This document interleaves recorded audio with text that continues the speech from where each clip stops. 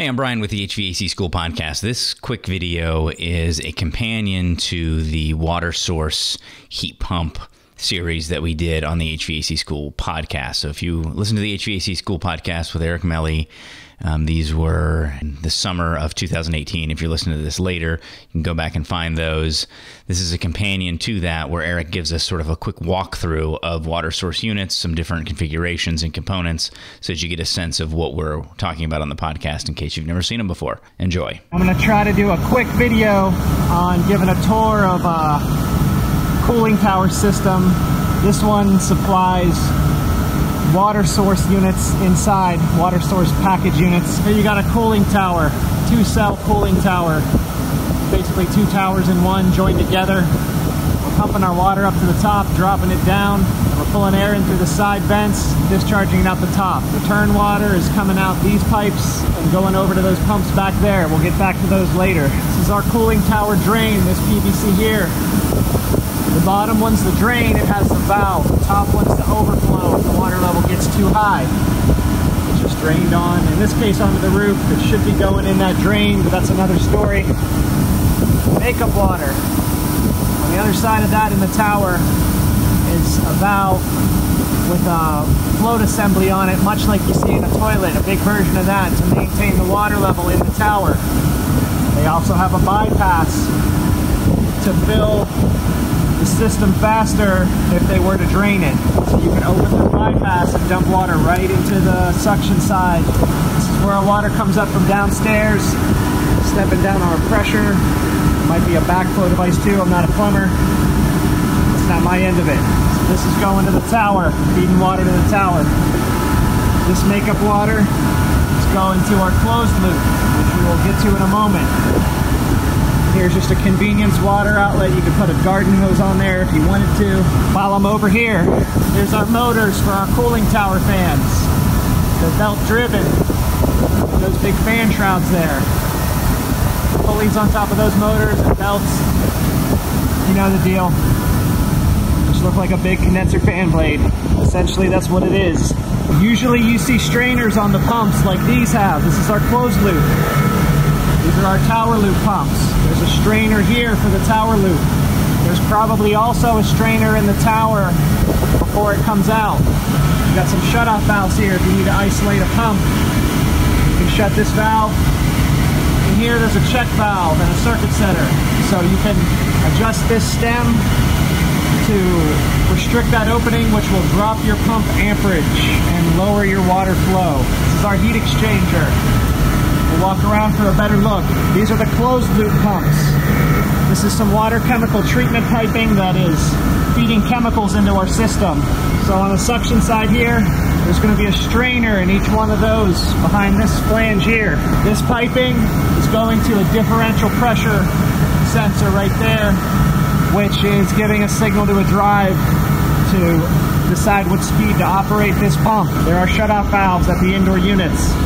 This is a chemical pot feeder, so you can feed the chemicals in using the pressure difference there. You can drain it at the bottom at that valve, take this cap off once you have it isolated from the system.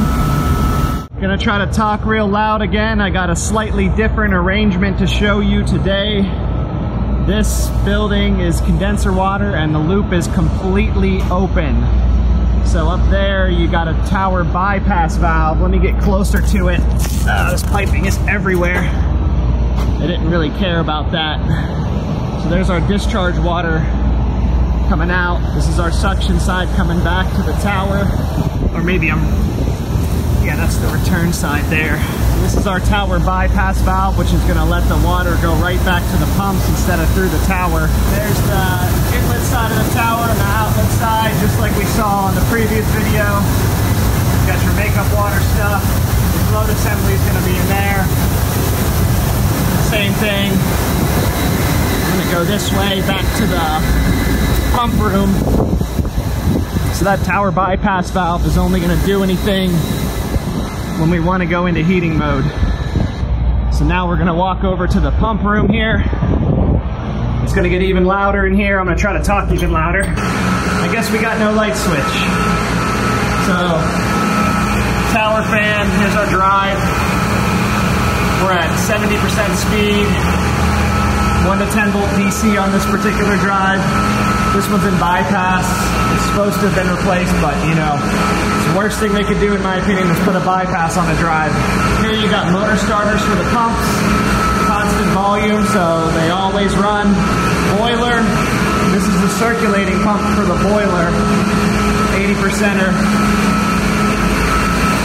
Here we got our boiler piping. There should be a electronic mixing valve there. It looks like there was at one time, but just got a manual to try to keep our inlet temperature high enough. We got here low water cutoff, flow switch there, uh, pressure and temperature there, on off switch.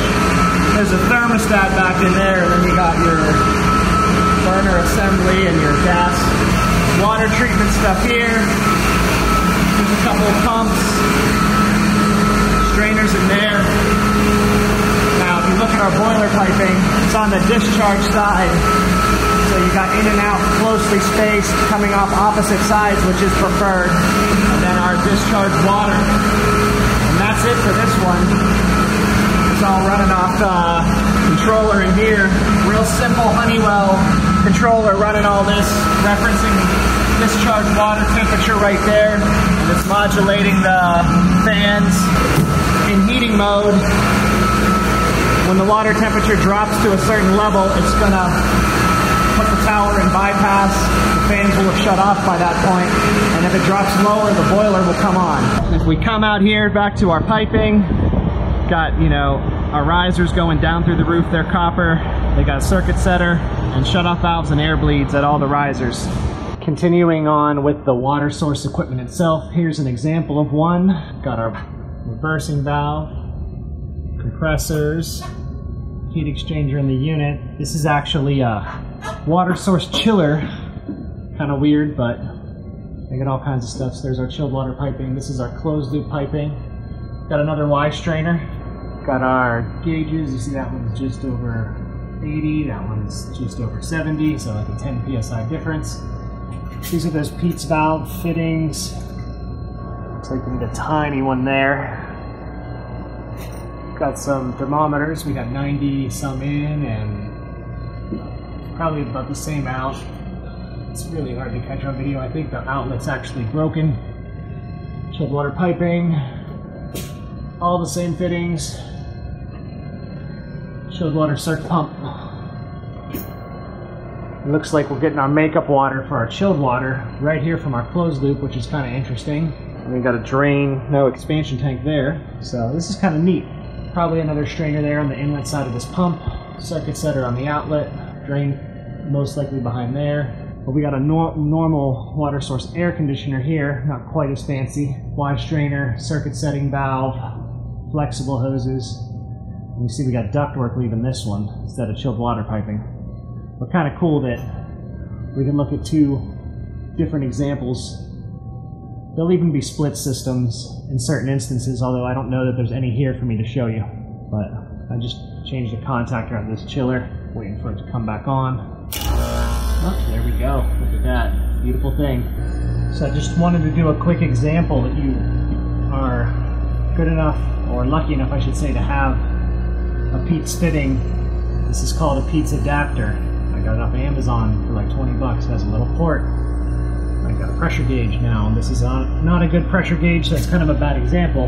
You can also stick uh, immersion type thermometer that's the same diameter in there. There's two sizes. I think this works on the bigger ones too. I've put it in a bunch of them just to play around with it. Not super critical to have, but it is nice to have, probably with a more accurate gauge.